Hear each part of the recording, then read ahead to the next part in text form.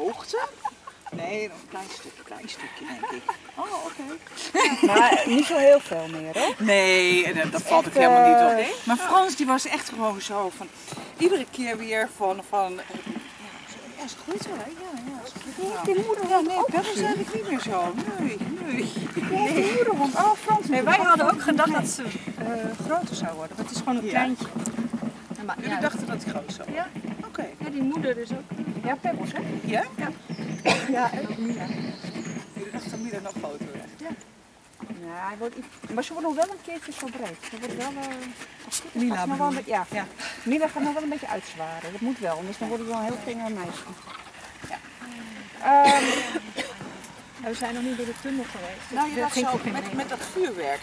Want we hebben natuurlijk vuurwerk afgestoken hè, toen het eh 5-1 werd. En, Oh ja. eh, en, ja, tuurlijk hebben we vuurwerk afgestoken. En, in maar mijn ze, ze kijkt er totaal niet van op.